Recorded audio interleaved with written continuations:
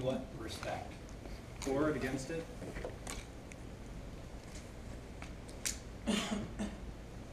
Well, I- Look, I haven't had a chance to read the governor's budget, but I- when I was in the legislature, uh, we've always believed that, uh, that a sales tax expansion uh, into services was a very bad thing, would make Ohio less competitive.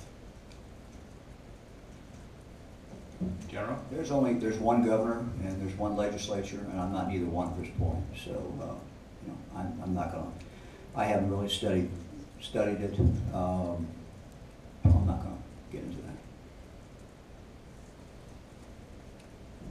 that. Uh, Marc Kovac, I I think I work for Gatehouse. Um, One of you has announced your intentions for 2018, two of you haven't. Um, Do you want to announce those intentions now? And if not, can you at least confirm that you intend to be on the statewide ballot?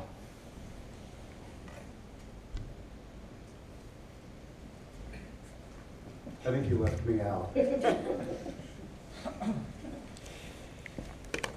There, there will be a time and a place to make, make the announcement, and, uh, this is probably not the time.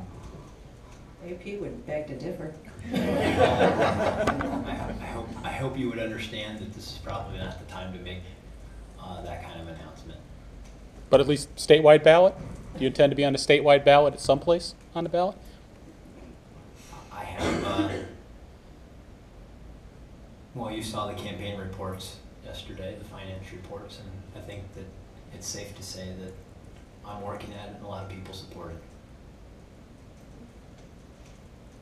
I'm very happy with where we are in our preparation to make an announcement.